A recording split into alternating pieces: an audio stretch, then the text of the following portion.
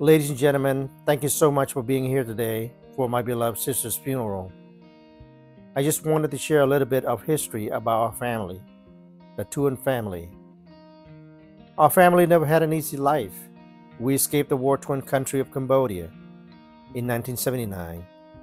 We journeyed barefooted through the rugged jungle of Cambodia, full of landmines, venomous snakes, the warlords, seeking a peaceful place to settle.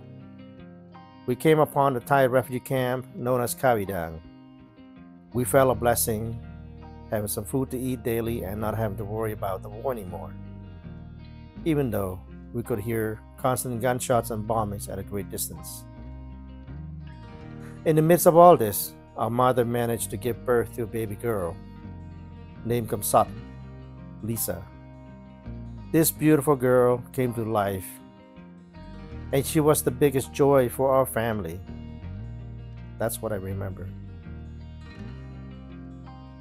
When we got to America, with the abundance to eat, we gathered together as a family and feast. This past Thanksgiving, Lisa offered to host dinner at her house for our entire family. But that came up short. After work on Monday, November 20th, Lisa got home from work.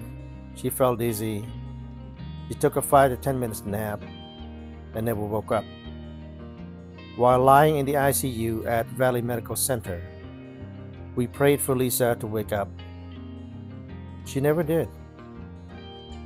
If she had, it would have been the greatest joy ever. At times, you don't know how much you miss someone until that person is gone. We miss you, Lisa. I just want to say I love you. We love you, my dear sister Lisa. You're in our hearts and will always be missed. May you rest in peace. May your beautiful soul enter the kingdom of God. Amen. Thank you.